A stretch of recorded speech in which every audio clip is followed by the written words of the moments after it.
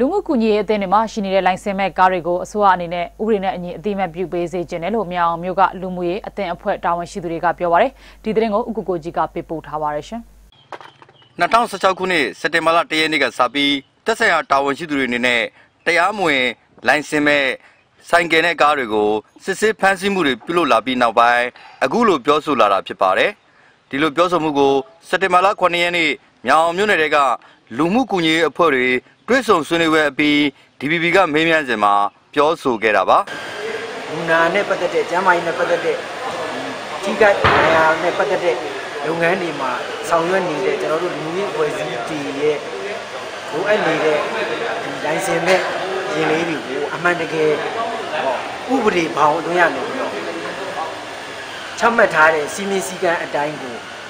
ဆောင်ရွက်ပေးနိုင်လှုပ်ဆောင်ပေးနိုင်တယ်ဆို ရင်တော့ကျွန်တော်တို့ကဖြစ်စေချင်ပါတယ်အဲ့လိုပုံစံမျိုးဖြစ်စေချင်ပါတယ်ဒီလို without license နဲ့ပုံစံမျိုးလည်းကျွန်တော်တို့မသုံးချင်ပါဘူးဒီတွဆုံပွဲကိုမြောင်မြို့အခြေစိုက်မြစ်တာရှင်သွေးလူရှင်အဖွဲ့ကဥဆောင်ကမကရပြုလုပ်တာလည်းဖြစ်ပါတယ်။မြောင်မြို့နယ်ကလူမျိုးအသင်း25ဘွဲ့အဖွဲ့ဝင်150ကျော်ဟာနေ့လယ်တနာရီမှာအမှန်ကားရက်ကွက်မှာရှိတဲ့တာဝန်သာဖះမှာစုဝေးပြီးမြို့နယ်လုံး ကွန်ရက်တာဝန်ခံတွေရွေးချယ်ဖွဲ့စည်းခဲ့ကြပါတယ်။ဒေသတွင်းအဖွဲ့အစည်းတွေအနေနဲ့ငွေကြေးမလုံလောက်တော့ကြောင့်လိုင်စင်မဲ့ကားတွေနဲ့သာလူနာတွေကိုပို့ဆောင်နေရတာဖြစ်တယ်လို့ကူညီသူတွေကထောက်ပြပါတယ်။တို့ဒေတာတည်တည်မှာအလူရှင်တွေကိုရှားပြီးတော့ဟုတ်လားအိမ်နဲ့ရတယ်မှာအလူခံပြီးတော့မှဒီကားလေးဖြစ်မြောက်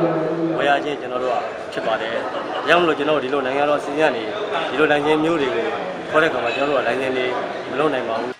။မြောင်မြို့နယ်ထဲမှာလူမှုကူညီရေးအသင်းဖွဲ့25ဘော်ကျော်ရှိပြီးအဲ့ဒီထက်က15ဖွဲ့လောက်မှာလူနာတရင်တွေနဲ့လူနာတွေကိုစေုံတွေရောက်ပို့ဆောင်နေကြပြီးအဲ့လူနာတင်ရင်တော်တော်များများဟာလိုင်စင်မဲ့ကားတွေဖြစ်နေပါတယ်အစိုးရရဲ့စစ်စစ်ဖမ်းဆီးမှုတွေပြုလုပ်နေတဲ့ကာလမှာလိုင်စင်မဲ့လူနာတင်ရင်တွေဖြစ်တာကြောင့်ဒေတာတင်းကလူနာတွေကိုဆေးရုံကိုပို့ဆောင်ပေးဖို့အခက်အခဲကြုံတွေ့နေရတယ်လို့ထောက်ပြတာတွေလည်းရှိပါတယ်ကျွန်တော်တို့ဒီ အစိုးရရဲ့ပုံစံပြည်သူလူထုရဲ့လိုအပ်ချက်များကိုပံ့ပိုးနေတဲ့ပရိုက်တာအဖွဲ့ဖြစ်ပါတယ်အဲ့ဒီဂျင်းတွေကိုမန်းနေတဲ့အတွက်ကြောင့်မလို့လူနာတွေဂျင်းပန်းနေဆိုတဲ့အတွက်ကျွန်တော်တို့လိုင်စင်ရှိတဲ့ကားနဲ့ချိတ်ဆက်ပြီးလုပ်ရတဲ့အခက်အခဲများစွာရှိပါတယ်အချိန်မီစေးုံရောက်ရမယ့်လူနာတွေမြောက်နိုင်နေတဲ့အတွက်ကြောင့်မလို့ကျွန်တော်တို့ပရိုက်တာလူငယ်အဖွဲ့တွေနဲ့လိုင်စင်မရှိတဲ့ညီတွေမှာမောင်းရဲသလောက်ရှိနေပါတယ်